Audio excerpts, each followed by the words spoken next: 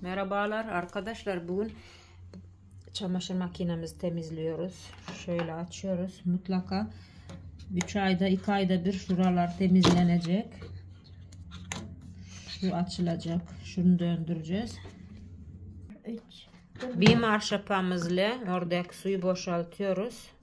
Su dökülebilir şuradan.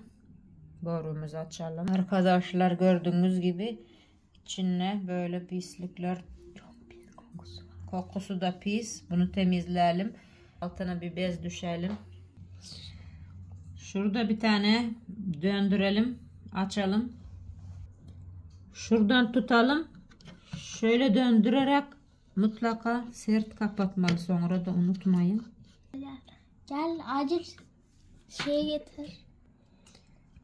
Şöyle bir kirli kıyafetlerin ipleri her şey var bunlar yıkayacağız bunları mis gibi. Sonra temizleyeceğiz yerine takacağız. Böyle bazen de bozuk paralar çıkıyor unuttuysanız. Böyle kirler kalıntılar.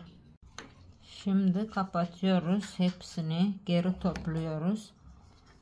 Şöyle kapakları da kapatalım yerli yerine Güzelce yıkayalım. Sabunlu suyla çünkü pis kokuyor. Çamaşır makineden çamaşırlar çıkınca şuraya su lastiklerin kenarına ben böyle bez sıkıştırıyorum. Kurutarak çekiyorum sonra bunu. O zaman uzun ömürlü olacak makinemiz.